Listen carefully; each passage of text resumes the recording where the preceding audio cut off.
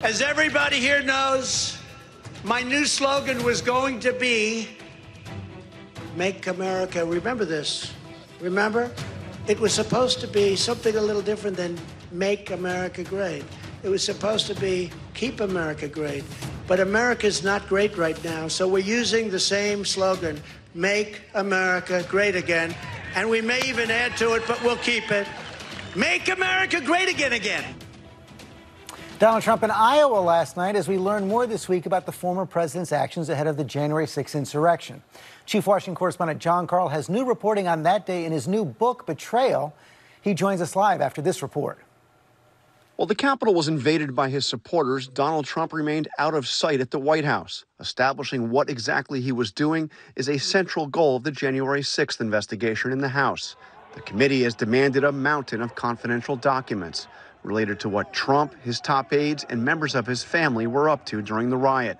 On Friday, President Biden ordered the National Archives to turn over a batch of those documents. While presidents of both parties have long fought to protect executive privilege, which allows a president to keep deliberations with aides confidential, Biden's White House counsel said in this case, President Biden has determined that an assertion of executive privilege is not in the best interests of the United States. He believes it to be of the utmost importance for both Congress and the American people to have a complete understanding uh, of the events of that day to prevent them from happening again. Trump is vowing to fight in court, asserting the documents must remain confidential and issuing an angry statement against what he called a fake investigation. For my upcoming book, Betrayal The Final Act of the Trump Show, I spoke to several people who were in contact with Trump during the riot. Trump, the sources say, was watching TV in his private dining room. He liked what he saw. He boasted about the size of the crowd, and he argued with aides who wanted him to call on his supporters to stop the rioting. I learned more details about Kevin McCarthy's call to Trump as the rioters tried to storm the House chamber. According to a source familiar with the call, McCarthy, frustrated at Trump's indifference to what was happening, said, quote, I just got evacuated from the Capitol. There were shots fired right off the House floor. You need to make this stop. The source said Trump pushed back, saying, quote, they are just more upset than you because they believe it more than you, Kevin, referring to the lie that the election had been stolen.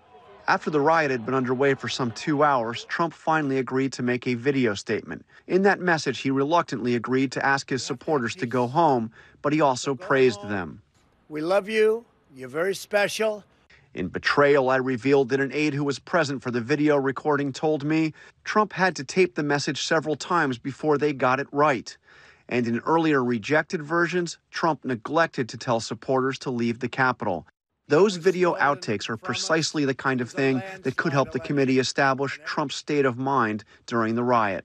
Also, this week, a Senate report documented alarming new details about the way Trump attempted to use the Justice Department to steal the presidential election.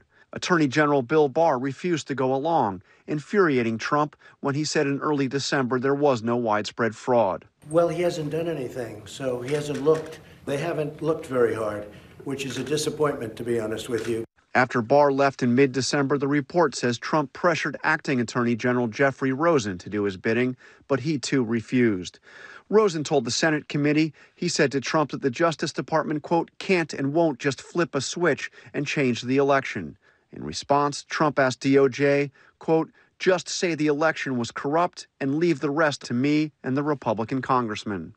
In late December, the former president turned to Jeffrey Clark, a lawyer with no experience in election law, but who promised to declare without evidence that there was widespread voter fraud and to pressure contested states to reverse Biden's victory.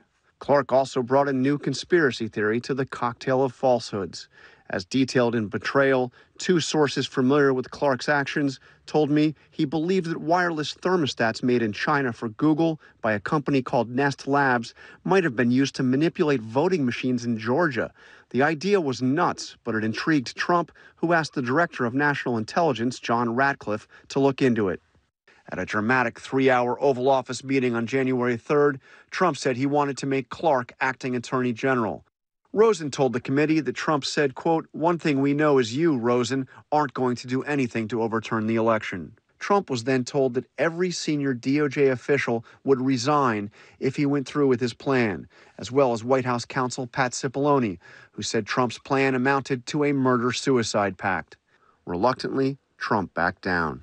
I spoke to three people present for that extraordinary meeting in the Oval Office. I am told that once Trump realized that he would face mass resignations at the Justice Department and simply could not fire Rosen, uh, that he turned over to the dejected and rejected Stuart Clark and he asked Rosen, What are you going to do to him now?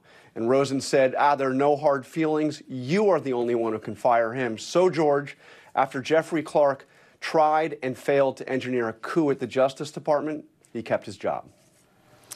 Uh, Jon, extraordinary reporting right there, pr- showing pretty clearly the president was doing everything he thought he could uh, to overturn the election going into January 6th. And now he's doing everything he can to fight the investigation as well, trying to invoke executive privilege. Uh, Steve Bannon, one of those associates who says he's not going to comply with congressional subpoena. But it's hard to see how executive privilege applies to somebody who wasn't working in the White House. Yeah, this is the first time it's ever been tried. It's basically saying that anybody that, that, the president reached out to and talked to would be covered by executive privilege because he was getting advice. And George, it's significant that as Bannon refuses uh, to comply with this subpoena, uh, his lawyer is saying explicitly that he is de- doing so at the instructions of Donald Trump. Donald Trump, who just earlier this week said that he had no problem or suggested he would have no problem seeing his people testify, is now, through his lawyers, saying that he doesn't want any of them to talk to the committee. Jon Karl, thanks very much. The book Betrayal comes out, what, November 16th? November 16th, and much more to come. Jon Karl, thanks. Hi, everyone. George Stephanopoulos here. Thanks for checking out the ABC News YouTube channel. If you'd like to get more videos, show highlights, and watch live event coverage, click on the right over here to subscribe to our channel. And don't forget to download the ABC News app for breaking news alerts. Thanks for watching.